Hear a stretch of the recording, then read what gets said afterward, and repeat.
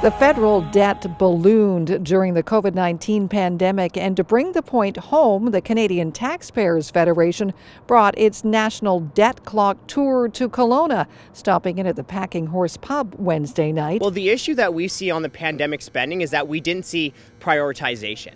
I think many Canadians understand that if you have an issue like this, redirect resources. But we haven't seen that level of prioritization, and we haven't seen the federal government find savings in other areas of the budget. And we have to remember that even before the pandemic in 2018, the federal government was spending all time highs. Among those who showed up to hear from Terrazzano and snap a picture with the debt clock was Kelowna Lake Country MP Tracy Gray.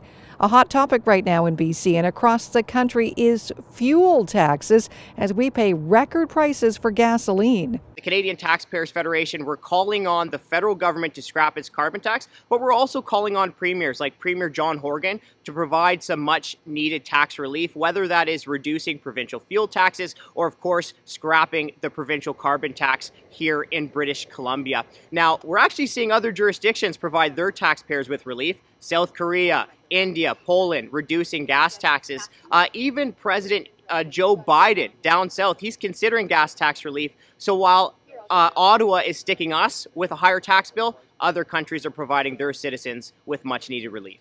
The CTF launched its National Debt Clock Tour earlier this week in Victoria, and Terrazzano said it was nice to be interacting with people again after so many months of pandemic restrictions.